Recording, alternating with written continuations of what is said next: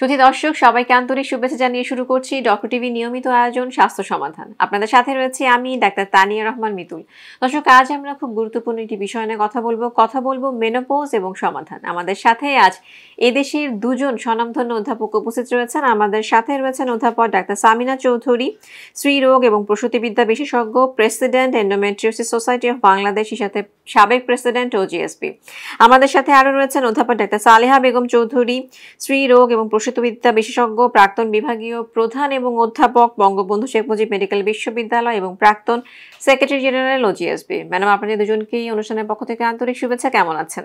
ভালো। ভালো ম্যাডাম আমরা আজকে এমন একটি বিষয় নিয়ে কথা বলব যে এই বিষয়টা আমাদের মধ্য প্রত্যেকটি নারীকেই যেতে হবে। আমি প্রথমে অধ্যাপক ডাক্তার সামিনা চৌধুরী ম্যাডামের কাছে জানতে চাইব ম্যাডাম মেনোপোস্ট আসলে কি? খুব সহজ করে যদি আমাদের দর্শকদের উপযোগী করে বলে দিতেন এবং কখন আসলে মেনোপোস্টটা হবে? মেনোপজ এটা একটা ল্যাটিন শব্দ। এখানে মেনো মিন্স মাসিক আর পজ মিন্স থামা।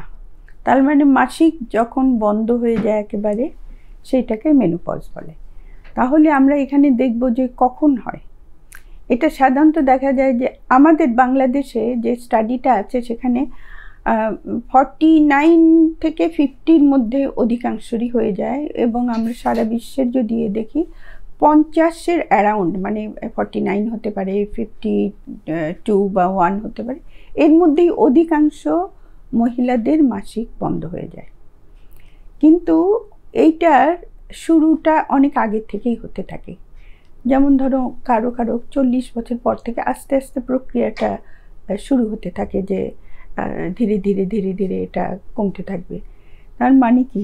কি কমতে থাকে? এখানে হচ্ছে আমাদের যে যখন মেয়েদের শরীর তো হরমোন দিয়ে যে সিস্টেমটা আমাদের চলে প্রজনন অঙ্গগুলো যেগুলো আছে, সেখানে ব্রেইনের যে পিটুইটারি থাকে, একটা মানে গ্ল্যান্ড থাকে, তারপরে ওভারি এবং এগুলোর মধ্যে অ্যাক্সিস পিটুইটারি অ্যাক্সিস এগুলো থাকে, এগুলোর সাথে একটা রিলেশনশিপ থাকে। এইটা সময়ের সাথে সাথে ওভারিতে যে ডিম্বগুলো থাকে ওভারিতে একটা ডিম্বাশয় আমরা বলি, এতে মিলিয়ন মিলিয়ন মানে ডিমের অণু নিয়ে জন্মগ্রহণ করে একজন মহিলা। তারপর বছর পর বছর এটা আস্তে আস্তে অনেক কমতে থাকে।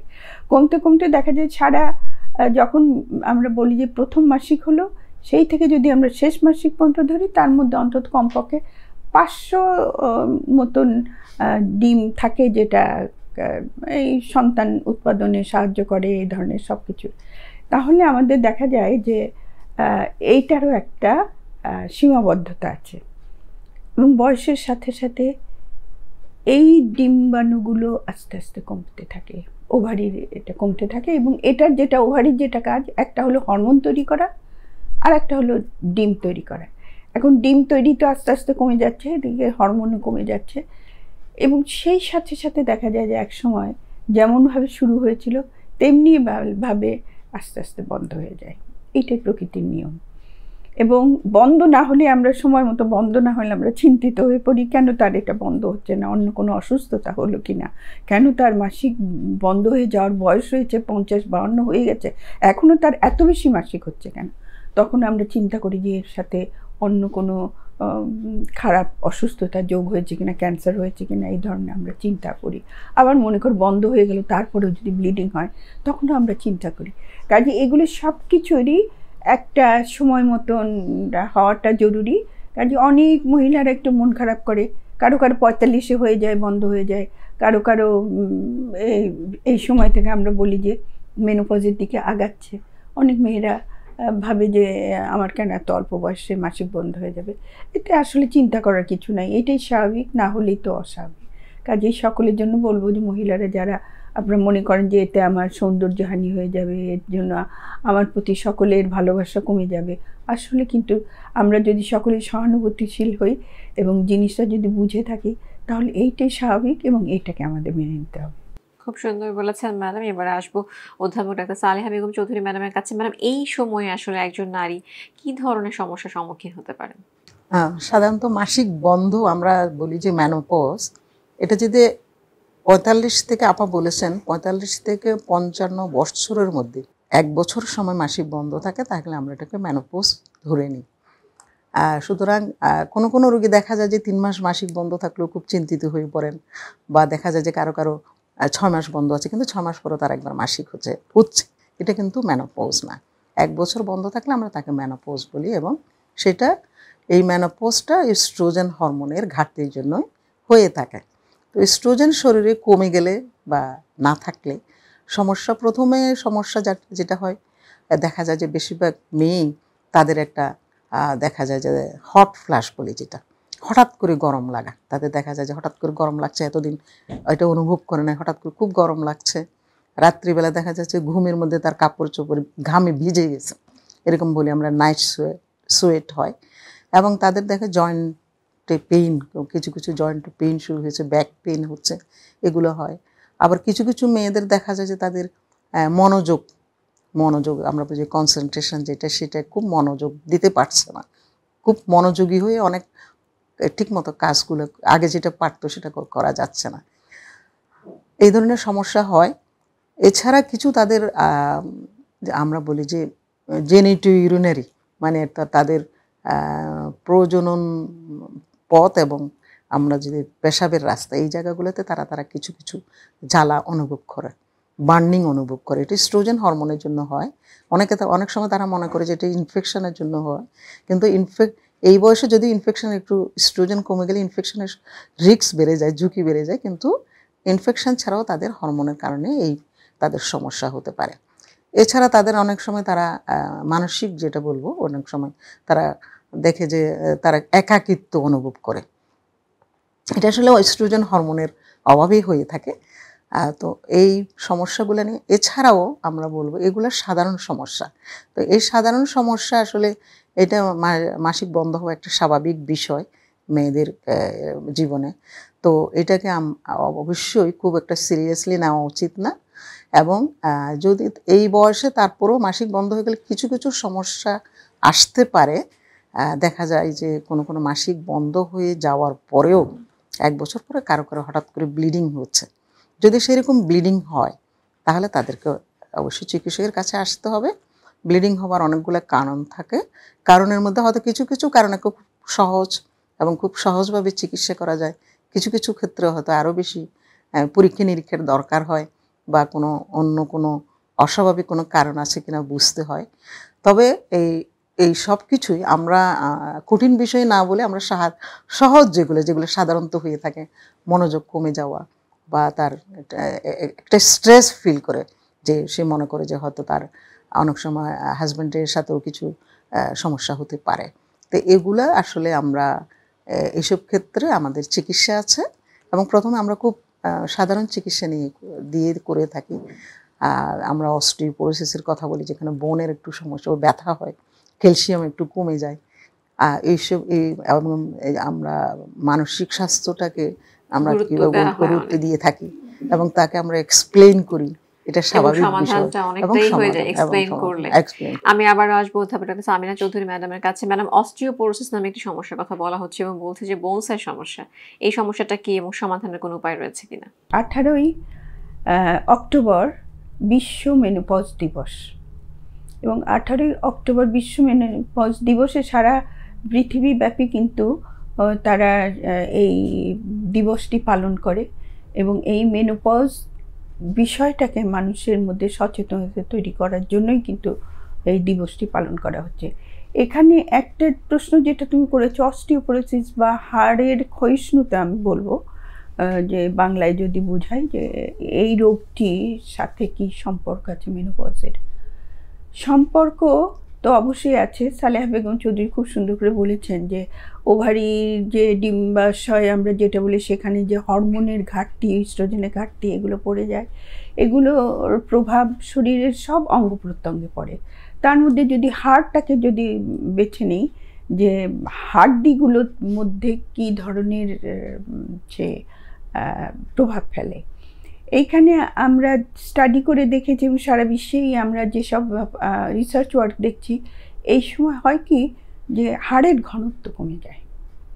হাড়ের ঘনত্ব যেহেতু কমে যায়, একটা যদি আমি লং বোন মনে করেন যে আমাদের মানে রানের বোন বা যে কোনো লং বোন যদি আমরা একটু দেখি, দেখব যে ওর ভিতরটা কেমন, আমাদের যেরকম থাকে, ওইটা জালি জালি জালি জালি হয়ে গেছে। মানে ক্ষয়ে গিয়ে ওটা দুর্বল হয়ে গেছে। তার মানে কিন্তু এটা যে কোনো সময় ভেঙে যাওয়া যাবে। এবং এই ভেঙে যাওয়াটা বিরাট একটা কঠিন সমস্যা পুরো পরিবারকে ফেলে রোগীর তো বটেই। এই জন্য আমরা এত চিন্তিত যে এখন যেহেতু আমাদের লঞ্জিভিটি বেড়ে গেছে আমরা দীর্ঘায়ু হচ্ছি আমাদের অস্টিওপোরোসিস রোগীর সংখ্যা অনেক বেড়ে গেছে। এবং এদেরকে সুস্থ রাখা একটা বিষয় আমাদের সব সময় মনে রাখতে হবে। এদেরকে সুস্থ না রাখলে পুরো পরিবার কিন্তু একদম বিপর্যস্ত অবস্থায় চলে যায়। পারিবারিক সুখ শান্তি সব নষ্ট হয়ে যায়। একজন মহিলা যদি পা ভেঙে বিছানায় পড়ে থাকেন, তার যত্ন কে নিবে? আজকাল আমাদের ছেলে মেয়ে কম। কে যত্ন নিবে? ছেলে মেয়ের পক্ষেও তারা চাকরি বাকরি করে সম্ভব হয় না। কাজে সেইগুলো যদি আমরা সামাজিক জিনিসগুলো যদি চিন্তা করি, তাহলে আমাকে এই হাড়ের ক্ষয়িষ্ণুতা বা এই অস্টিওপোরোসিস থেকে আমাদের যাতে আমরা বেঁচে থাকতে পারি, সেগুলোর জন্য কি করতে হবে? সেটা তুমি যে প্রশ্ন করেছ, সেখানে যদি আমি ওইভাবে উত্তর দিই, আমার তাহলে কি করতে হবে? আমার জীবনধারার মধ্যে কিছু পরিবর্তন আনতে হবে। একটা হলো আমাদের খাদ্যাভ্যাসের মধ্যে। খাদ্যাভ্যাসের মধ্যে আমরা সারা জীবনে যেটা হেলদি ইটিং আমাদের করতে হবে, তার মধ্যে আমাদের খাবারের জন্য শাকসবজি, ফল, তারপরে দুধ বা ডেইরি প্রোডাক্ট ডিম, এই জাতীয় কিছু অ্যানিম্যাল প্রোটিন এগুলো সব থাকতে হবে। এবং সেই সাথে আর একটা জিনিস যে এক্সারসাইজ এক্সারসাইজের কোনো বিকল্প নেই। এখানে আমি একটা কথা বলি, আমাদের শরীরে মাংসপেশি ছোট ছোট ছোট বড় দিয়ে ছয়শোর উপরে মাংসপেশি এবং হাড় প্রায় জয়েন্টেও এরকম যে জয়েন্টগুলো আছে, প্রত্যেকটা জয়েন্টের মুভমেন্ট প্রতিদিন করতে হবে, প্রত্যেকটা মাসলের মুভমেন্ট প্রতিদিন করতে হবে। কেন? কারণ এই যত মুভমেন্ট হবে এগুলোর, তাহলে হচ্ছে রক্ত চলাচল ভালো হবে। রক্ত চলাচল ভালো হলে কি হবে? শরীরের অক্সিজেনেশন বাড়বে। শরীরের অক্সিজেনেশন বাড়লে কি হবে? প্রত্যেকটা টিস্যু সে স্বচ্ছ মানে সতেজ থাকবে। কাজে এই জিনিসটা আমাদের সকলকে বুঝতে হবে যে আমরা কেন এত হাঁটাহাঁটির উপর এত গুরুত্ব দিই। অন্য কোনো ব্যায়াম যদি নাও করতে পারে, আমার তাহলে হাঁটতে হবে রেগুলার। এবং যে কোনো ব্যায়াম করতে হবে, কিন্তু সমস্যা ওইখানে। আমাদের আজকাল সবাই বসে বসে আমরা কাজ করি, ল্যাপটপে বসে থাকি তার হাঁটার জায়গা নেই, স্কুলের কথা তুমি যেটা বলছিস স্কুলে খেলার মাঠ নেই। তখন আমার প্রিভেন্ট করতে হলে আমার কিশোরী অবস্থা থেকেই বা কৈশোর থেকে আমার শুরু শুরু করতে হবে যেন আমি পরবর্তী জীবনে আমার হাড়ের ঘনত্ব ভালো থাকে। এমনি আমরা যেটা দেখেছি যে হাড়ের ঘনত্ব পঁয়ত্রিশ বছর বয়সের পর থেকে আস্তে আস্তে কমতে থাকে। তারপর যখন মাসিক বন্ধ হয়ে গেলো পঞ্চাশ বছর, তারপর শার্পলি কমে যায় হাড়ের ঘনত্ব। তার মানে তখন কিন্তু তোমার ইয়ে ভেঙে যাওয়ার হাড় ভঙ্গুর হওয়ার সম্ভাবনা অনেক বেড়ে যায়। কাজেই আমাদের যেটা করতে হবে, আমাদের খাদ্যাভ্যাস পরিবর্তন এবং সেই সাথে আমাদের কিছু কিছু বদ অভ্যাস অনেকে যেমন পান, পানের সাথে জর্দা খায়। জর্দাটা ক্ষতিকারক। স্মোক যেটা আমরা বলি যে সিগারেট খায়, যারা সিগারেট খায়, সেটাও কিন্তু পুরুষদের ওই রকম হাড় ভাঙে। আমাদের দেশে অনেকেই যদি সিগারেট মহিলারা কম খেলেও আমাদের উপজাতি বা অন্যান্য এলাকায় কিন্তু তাদের মধ্যে মেয়েরাও সিগারেট খায়। এগুলো কিন্তু একটা বিরাট প্রভাব ফেলে। এগুলো বর্জন করতে হবে। আর অতিরিক্ত লবণ, অতিরিক্ত মানে আমি বলব, চিনি খাওয়া বাদ দিতে হবে। আজকাল বলা হয় যে চিনি এটা বাচ্চাদের প্রথম থেকে অভ্যাস করো যে চিনি খাবে না, বড়রাও খাব না। তখন চিনির সাথে যেটা সম্পর্ক আছে বলে এটা ক্যান্সার সেলকে ফিট করায়। তার মানে এটা আজকাল দেখবে যে ডাক্তাররা যাদের ক্যান্সার হয় বলে, আপনি একটা দানাও চিনি খাবেন না। তা আপনি যদি ভালো থাকতে চান, চিনিটাকে বাদ দেবেন। এটা আমার মনে হয় সকলের এটা জানার দরকার। আর একটা হলো যেটা লবণের কথা বলছিলাম লবণের সাথে যে সম্পর্কটা আছে, যদি যেটুকুন আমাদের দরকার, তার চেয়ে খুব বেশি আমরা লবণ খাব না। তার কারণ এই লবণের সাথে সম্পর্ক আছে, যে হাইপার টেনশন যেটা আমরা বলি, যে আমরা যেহেতু লঞ্জিভিটি বেড়ে গেছে, আমাদের হাইপার টেনশন ডায়াবেটিস এগুলো সবই নিয়েই হয়তো বাঁচতে হবে। কাজেই আমরা যদি আগে থেকে সচেতন থাকি আমরা তাহলে হাড়ের ঘনত্বটা যদি সঠিক পরিমাণে রাখতে পারি তাহলে আমার শরীরের হাড়ের ভঙ্গুরতা কমে যাবে। খুব সুন্দর করে ম্যাডাম বুঝিয়ে বললেন। এবার আমি আবারও ম্যাডামের কাছে আসব। ম্যাডাম এই যে মেনোপোজ হয়ে গেল তারপর যদি কখনো ব্লিডিং হয় সেটা কি স্বাভাবিক? সেটাকে আমরা আসলে স্বাভাবিক বিষয় মনে করি না। মাসিক বন্ধ হয়ে যাওয়ার পরে অর্থাৎ আমরা যেটাকে পোস্ট ম্যানোপোজাল ডাক্তারি ভাষায় ভাষায় আর কি আমরা পোস্ট ম্যানোপোজাল ব্লিডিং বলি। তো পোস্ট ম্যানোপোজাল ব্লিডিং আসলে হয়তো খুব ইনফেকশনের জন্য হতে হতে পারে। খুব মানে একটা সাধারণ কারণ। কিন্তু এটা আবার কঠিন একটা সম- সমস্যার জন্য হতে পারে। যেমন কখনো দেখা যায় যে তাদের হয়তো জরায়ুতে ক্যান্সারের হয়তো একটা রিস্ক আছে। হয়তো ক্যান্সার এখনও হয়েও যায় নাই। অথবা ক্যান্সার হয়ে গেছে, এরকম পর্যায়ে কিন্তু এরকম একটা ব্লিডিং হতে পারে। তো এটাকে আমরা সাধারণত স্বাভাবিকভাবে ধরি না। তবে কারও যদি দেখা যায় যে একবার মাত্র ব্লিডিং হয়েছে, তবে তারা অবশ্যই ডাক্তারের কাছে আসতে হবে।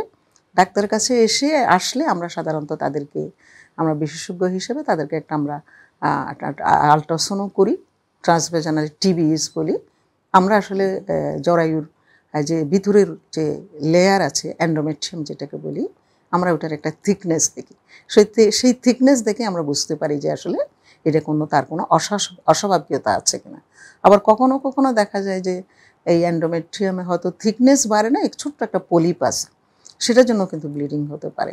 অথবা একটা ছোট্ট ফাইব্রয়েড আছে, সেজন্য ব্লিডিং হতে পারে। তো এই এই কারণগুলো কিন্তু খুব কঠিন কারণ না, এগুলোকে আমরা চিকিৎসা করি এবং চিকিৎসা করলে ভালো পেশেন্ট ভালো হয়ে যাবে। তবে যদি এখানে এটা, এটাতে দেখা যায় যে ক্যান্সারের ঝুঁকি আছে, সেরকম কিছু যদি নির্ণয় হয়, তাহলে সেই জায়গায় আমাদের চিকিৎসার প্রয়োজন আছে। আমাদের সেই জায়গাগুলোতে আমরা সাধারণত সার্জিক্যাল ট্রিটমেন্ট করি। সার্জারিটা একটা ট্রিটমেন্ট মানে মেন ট্রিটমেন্ট এবং সার্জারি করার পরেও তাদেরকে কিন্তু ফলো আপে থাকতে হয় এবং সার্জারি করার পরে কারও কারও দেখা যায় যে আমরা যেটা আগে বলেছিলাম যে ম্যানোপোজাল কিছু সিমটম আছে তো সেই সিমটমগুলো আসলে মাসিক বন্ধ হয়ে যাওয়ার পরেই শুরু হয়। কিন্তু এর পরেও যদি দেখা যায় যে আমরা ইউটারাস এবং ওভারি রিমুভ করি কোনো কারণে, তখনও কিন্তু তাদের এই সিমটমগুলো আরও বেশি ভাবে দেখা যেতে পারে। তো সেই জায়গায় আমাদের তাদেরকে আমরা হরমোনাল ট্রিটমেন্ট দেওয়ার প্রয়োজন হয়ে থাকে এবং আমরা তখন পেশেন্টের কন্ডিশন বুঝে তার পরীক্ষা নিরীক্ষা সব কিছু করে তাদেরকে আমরা হরমোনাল ট্রিটমেন্ট দিই। এবং সেই হরমোনাল ট্রিটমেন্টটা সাধারণত ইউটারাস না থাকলে অথবা ক্যান্সারের অন্য কোনো রকম ঝুঁকি এরকম কিছু না থাকলে আমরা তখন তাদেরকে হরমোন দিয়ে চিকিৎসা করি। সাধারণত স্ট্রোজেন হরমোন দিয়ে চিকিৎসা করি এবং এস্ট্রোজেন হরমোন আসলে যাদের ইউটারাস নাই, থাকে না। এবং অনেক ক্ষেত্রে কিন্তু আমাদের ম্যানোপোজের আগেও কিন্তু ইউটারাস রিমুভ করতে হয় ওভারি রিমুভ করতে হয় কিছু কিছু রোগের জন্য।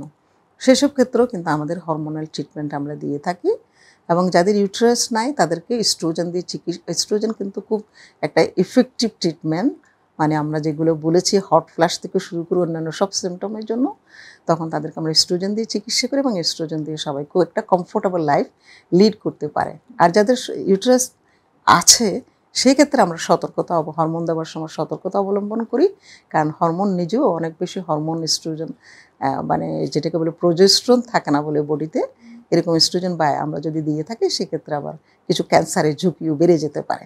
তো সেই জায়গায় আমরা অনেক সময় কম্বাইন্ড পিল দিই অথবা আমাদের অল্টারনেটিভ আমাদের কিছু চিকিৎসা আছে হরমোনে এছাড়া আমাদের আপা বলেছেন যে খাবার দাবারের সাথে আমরা বলি যে স্ট্রোজেন আছে এরকম কিছু কিছু খাবার সয়া থেকে আমরা বলি যে স্ট্রোজেন একটা সোর্স সেই সব খাবারগুলো আমরা বেশি করে দিয়ে থাকি। অথবা যাদের দেখা যায় যে একটু প্রেশার আছে তাদেরকে তারা হাইপার টেনশনে ভুগছে, তাদেরকে কিন্তু স্ট্রোজেন অনেক দিন দেয়া যায় না। সেই ক্ষেত্রে কিন্তু আমরা অল্টারনেট চিকিৎসাও দিয়ে থাকি এবং সেই চিকিৎসাতে কিন্তু আমাদের এই পোস্টম্যানোপজল ওমেন তার এইসব সিমটম থেকে বাঁচতে পারে। এবং সুস্থ এবং সুন্দর একটি সাধারণ জীবন সাধারণ আমি আসব অধ্যাপক ডক্টর সামিনা চৌধুরী ম্যাডামের কাছে ম্যাডামের কাছে জানতে চাই। ম্যাডাম এই যে আমরা হরমোন রিপ্লেসমেন্ট থেরাপির কথা বলছি অনেকে খুব ভয় পান। কিন্তু দেখা গেছে আমরা যদি প্রথম মানে যেটা হচ্ছে ফার্স্ট ওয়ার্ল্ডের কথা চিন্তা করি ওখানে যারা নারীরা রয়েছেন তারা তো ব্যবহার করছেন। ঝুঁকি কতটা রয়েছে? কতদিনের জন্য আপনারা ব্যবহার করছেন এই হরমোন রিপ্লেসমেন্ট থেরাপি হ্যাঁ এটা অত্যন্ত গুরুত্বপূর্ণ প্রশ্ন এবং এই প্রশ্নের মুখোমুখি আমরা বহু বছর হলো হচ্ছি। এবং এখানে যেটা দেখা গেছে হরমোন রিপ্লেসমেন্ট একসময় বলা হতো hormone replacement therapy for all পরে দেখা গেল নো নট ফর অল এটা কি করতে হবে? এটা যার প্রয়োজন তাকেই দেব। এখন কথা হলো কার প্রয়োজন সেটা আমরা স্ত্রীরোগ বিশেষজ্ঞের কাছে যদি কেউ এসে আমাদের এটা সম্বন্ধে জানতে চায় এবং সেইটা উনি পরীক্ষা নিরীক্ষা করবেন। ওনার কিছু ইনভেস্টিগেশন করতে হবে। একটা হরমোন থেরাপি দেওয়ার আগে। যে কথাটা সালেহ বেগম চৌধুরী বললেন যে তার ইউট্রাস থাকলে আমি কী দেব, কী ধরনের হরমোন দিই ইউট্রাস না থাকলে কী ধরনের হরমোন দেব? এইগুলো বুঝে তখন তাকে হরমোন কোনটা দিব, না দিব, এগুলো আমাদের চিন্তা করে দিতে হবে। এবং তার শরীরে অন্য কোন সেটা ম্যাচ করবে কি না, সেই ধরনের চিন্তা ভাবনা থেকে আমাদের দিতে হয়। কারণ অনেক সময় না দিয়ে উপায় থাকে না। তখন রোগীর জীবনের একটা তো কমফোর্ট যে আরাম দেওয়ার তো আমাদের ব্যবস্থা করতে হবে। সেই হিসাবে আজকাল ভালো ভালো হরমোন বের হয়েছে, সেগুলোর কথা হলো আমরা হরমোন দিয়ে চোখ বন্ধ করে থাকব না, যে তুমি এটা নিয়ে খেতে থাকো আজীবন তা কিন্তু নয়। আমরা কিছুদিন পর তাকে বলব তুমি এসে আবার চেক আপ করিয়ে যাবে। কাজেই সেটা নিলেই যে ভয়ের কিছু তা না, কিন্তু আমার একটা, একজন ডাক্তারের সাথে আমার সেই পরামর্শের মধ্যে থাকতে হবে। এই হরমোন রিপ্লেসমেন্টের বিষয়টা আমি বলব যে এটা যারা স্ত্রীরোগ বিশেষজ্ঞ তারা এই জিনিসটা ভালো করে ডিল করেন। কাজে তাদের কাছে কাছে আসলে এটা ভালো। আজকাল আবার কিছু কিছু নন হরমোনাল প্রোডাক্ট বের হয়েছে এবং সেগুলোও কিন্তু ব্যবহার বাড়ছে এবং সেগুলো আমরা স্ত্রীরোগ বিশেষজ্ঞ এবং অর্থোপেডিক সার্জন ওনারাও খুব ব্যবহার করে থাকেন। এই যে হাড়ের কথা বললে যে সেগুলোর মজবুত হওয়ার জন্য ব্যবহার করে। আর একটা জিনিস আমি সকলের জন্য যেটা আমি বলব যে আমাদের ক্যালসিয়াম কন্টেনিং ডায়েটটা আমাদের বাড়াতে হবে। আর সেই সাথে হলো ভিটামিন ডি ইনটেক সেটা আমাদের ফুড থেকে একটা একটা হচ্ছে সান থেকে। এবং সান থেকে হতে গেলে কোন সময়ের সানটা আমার শরীরে ভিটামিন ডি তৈরি করবে সেটা খুব জানা সকলেরই প্রয়োজন। কাজেই সাধারণত দেখা গেছে সকাল সাড়ে দশটা থেকে তিনটার মধ্যে যে সান ইয়েটা হয় এক্সপোজার আমাদের হয়, সেইটা কিন্তু ভিটামিন ডি তৈরি করতে সাহায্য করে। এবং সেখানে বডির কতটা এক্সপোজ হতে, আমি যদি বোরখা পরে সূর্যের মধ্যে বসে থাকি, তাতে কিন্তু লাভ হবে না। আমি শাড়ি দিয়ে ঢেকে থাকলাম তার আমার কিছুটা এক্সপোজ করতে হবে শরীরের যে সূর্য আলো যেন পায়। কাজেই ওয়ান কমপক্ষে ওয়ান থার্ড তো এক্সপোজ করতে হবে যে সূর্যের আলো থেকে সে যেন ভিটামিন ডিটা পায়। এছাড়াও দেখা যায় যে তাতেও অনেকের এনাফ হয় না, তাদের কিন্তু ভিটামিন ডি দিতেই হয়। আজকাল আমি দেখেছি এবং বাংলাদেশে সেভেন্টি টু পার্সেন্ট মানুষের কিন্তু এই ভিটামিন ডি ঘাটতি। তার মধ্যে যারা বেশি কাভার্ড থাকে, তাদের মধ্যে ঘাটতি অনেক বেশি এবং এই ভিটামিন ডি ঘাটতির জন্য অনেক ধরনের সমস্যা তাদের হয়। ইমিউনিটি প্রবলেম হয় এবং ভবিষ্যৎ জীবনে আমি জানি না এখন যারা ডেফিসিয়েন্সিতে ভুগছে অল্প বয়সে মেয়েরা তারা ভবিষ্যতে আরও কী কী কমপ্লিকেশনের মধ্যে যাবে বলাটা খুব কঠিন। কাজেই আমি মনে করি যে স্বাস্থ্য সচেতনতার কোনো জুড়ি নেই বিকল্প নেই। কাজে সুস্থ থাকতে হলে আমাকে নিয়মগুলো একটু মেনে চলতে হবে এই নিজেকে সুস্বাস্থ্যের অধিকারী করতে হলে এগুলো আমাদের লাগবে। মেনে চলতেই হবে। এবার আসব ম্যাডাম মেন্টাল হেলথ মেনোপৌজে মানসিক স্বাস্থ্যের যত্নের কোনো প্রয়োজন রয়েছে কিনা? অবশ্যই। আগেই বলেছি আমাদের ম্যানোপোজের পরেই আসলে অকারণে অকারণ ঠিক বলব না যদিও স্ট্রোজেনের সাথে তার একটা সম্পর্ক আছে আসলে দেখা যায় যে তারা মানসিকভাবে তারা কিছুটা অবসাদগ্রস্ত হয়, কিছুটা ডিপ্রেশনে থাকে, হতাশা বোধ করে, একাকিত্বের একটা সমস্যা তাদের পেয়ে বসে। সুতরাং এই সব কিছু মিলিয়ে তাছাড়া তার একটা ফিজিক্যাল যে চেঞ্জ তার শারীরিক চেঞ্জ তার কিছু কমপ্লেন থাকে, সেগুলো তাকে কিন্তু কিছুটা বিব্রত করে তাকে, তার কিছু সাফারিংসের কারণ হয়। সবগুলো মিলে প্লাস হলো সে মন, নিজেকে মনে করে ফ্যামিলিতে কিছুটা সমস্যা হয়। আপা আগেই বলেছেন, ছেলেমেয়েরা বাইরে থাকে অনেক সময় হাজব্যান্ড হয়তো বুঝতে পারেন না, তখন সেই ক্ষেত্রে আমাদেরকে আসলে দুইজনকে নিয়ে একসাথে বসতে হয়, আমাদের চিকিৎসকের আমরা তা করে থাকি।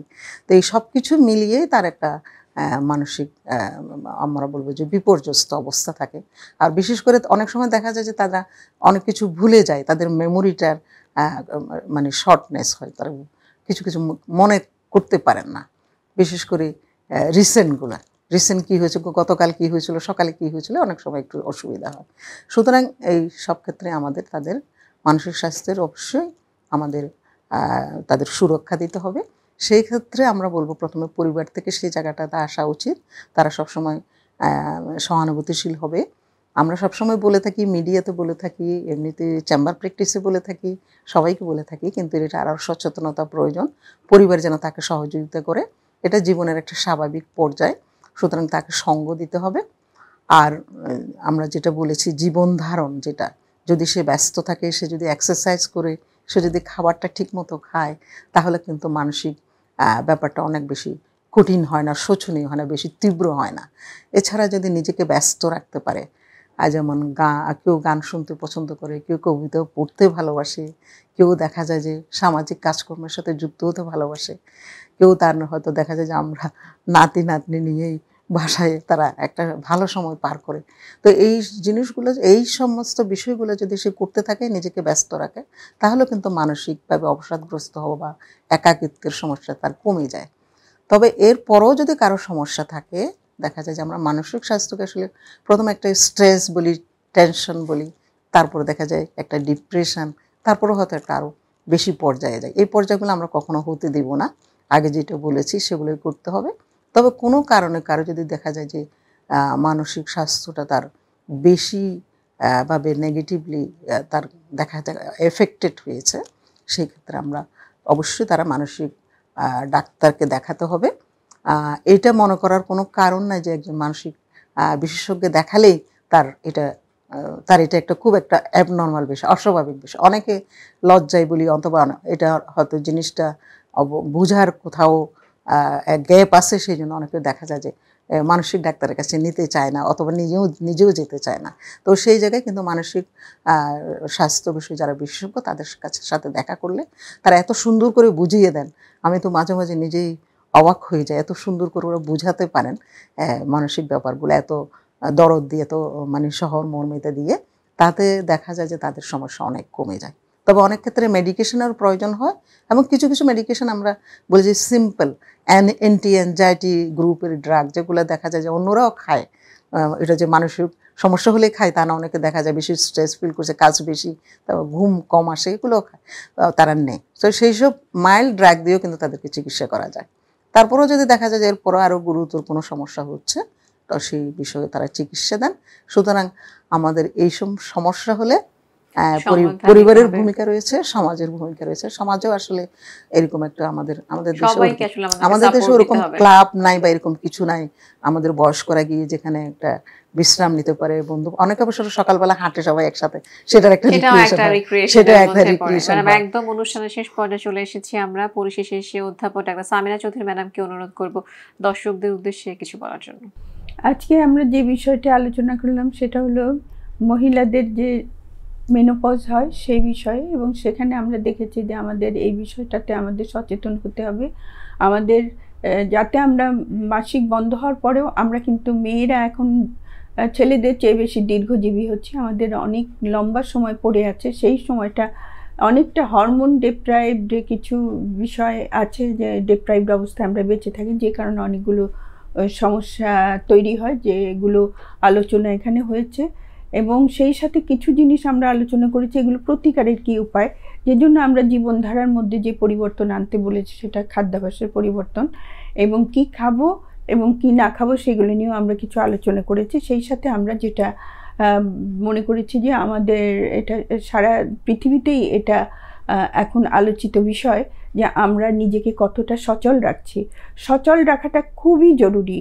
কাজেই আমাকে প্রতিদিন হাঁটতে হবে, যেটা বলা হয় যে তুমি কমপক্ষে সপ্তাহে পাঁচ দিন অন্তত পঁয়তাল্লিশ মিনিট করে হাঁটো।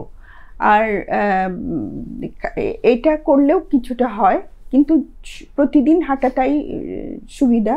এবং যদি বাইরে নাও হাঁটা যায়, ঘরের ভিতরে সেটা ব্যবস্থা করতে হবে। এবং নিজেরাই ঘরে যে কোনো এক্সারসাইজও যদি করে, তাতেও কিন্তু শরীরের অনেকটা মানে সুস্থ থাকা যায়। আর এছাড়া আরেকটা জিনিস যেটা মেন্টাল হেলথের কথা বললাম, বিষণ্ণতা এসে যায়। সেটা হলো পারিবারিক কারণে তার বয়সের সাথে সাথে দেখা যায় অনেক প্রিয়জন নিজেদের কাছ থেকে চলে যায়। সব কিছু মিলিয়ে একটা কঠিন অবস্থা পড়ে যায়। তার মধ্যে নিজের শারীরিক অসুস্থতা উম, সালেহা বেগম চৌধুরী বলছেন যে অবসাদ আসে এবং মনের মধ্যে একটা হতাশা চলে আসে যে আমার কাছে কেউ নেই। এই জিনিসটা থেকে আমাদের বেরিয়ে আসতে হবে। যে কারণে কিছু কিছু আজকাল পদক্ষেপ নেওয়া হচ্ছে যে আমরা বয়স্করা কীভাবে সুন্দরভাবে বেঁচে থাকতে পারি নিজেদের মধ্যে কথা নিজেদের মধ্যে আলোচনা করে কেমন করে ভালো থাকতে পারি সেগুলো আমাদের এখন নতুন করে চিন্তা করতে হবে। সবচেয়ে বড় কথা হলো আমরা এই সময়টা যেন আমরা কোনো না কোনো কাজে আমরা নিয়োজিত হতে পারি, যে কথাগুলো আলোচনা হয়েছে, আমরা ঘরে শুধু বসে থাকব না, আমরা নিজেরা কোনো না কোনো কাজ করব। সেটা আমাদের নিজেদেরও ভালো লাগবে, সকলের কাজে আসবে। আমি বিশ্ব মেনোপজ দিবসে সকলকে শুভেচ্ছা জানিয়ে আমার বক্তব্য এখানে শেষ করছি। ম্যাডাম, আপনাদেরকে অনেক ধন্যবাদ। আশা করছি আজকে আলোচনা থেকে দর্শকরা উপকৃত অবশ্যই হয়েছেন এবং অবশ্যই সচেতন হবেন। যদি দর্শক, আমরা যেটা জানলাম মেনোপোজ একজন নারীর জীবনে আবশ্যক। তবে সেই মেনোপোজ নিয়েও সুস্থ, সুন্দর একটি জীবন আশা করা সম্ভব, স্বপ্ন দেখা সম্ভব, বাস্তবেও সম্ভব। সেই জীবনের আশা ব্যক্ত করে আজকের আলোচনা এখানে শেষ করছি। আবারও দেখা হবে নতুন কোনো স্বাস্থ্যের তথ্য নিয়ে। সেই পর্যন্ত সবাই খুব ভালো থাকুন, ডক্টর টিভির সাথেই থাকুন। আল্লাহ হাফেজ।